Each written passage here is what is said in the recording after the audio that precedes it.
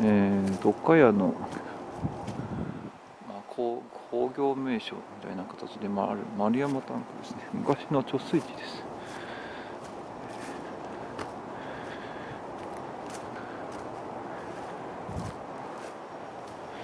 まあ使われないんで、えー、ないですけどね。中は、うん、何もないですけどなんか一周レンガの塔です。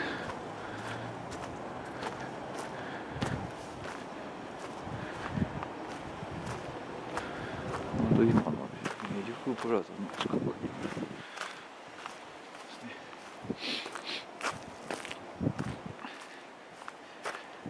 外周38メートル高さ2メートル。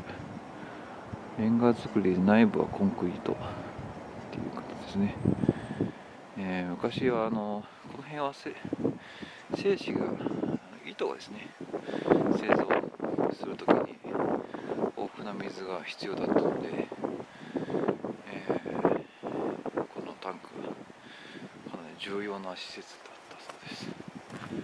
まあ一つだけ稼働してるんですよね製紙工場がね。というとなんかなんかの遺跡みたいなんですけど巨大ななんか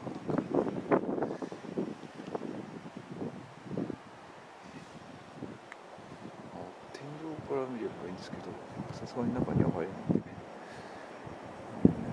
うん、スイーツタンクですね。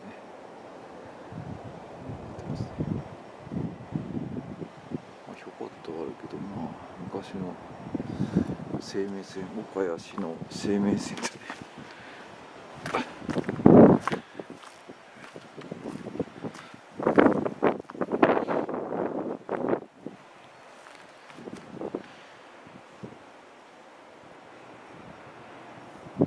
ー、大正3年から。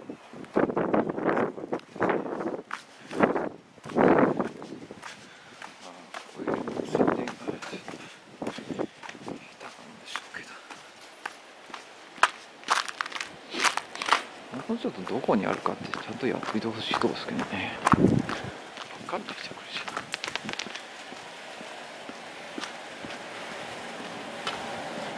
このミルクプラザ